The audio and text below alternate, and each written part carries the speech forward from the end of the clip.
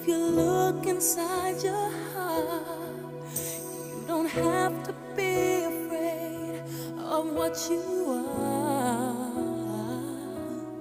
There's an answer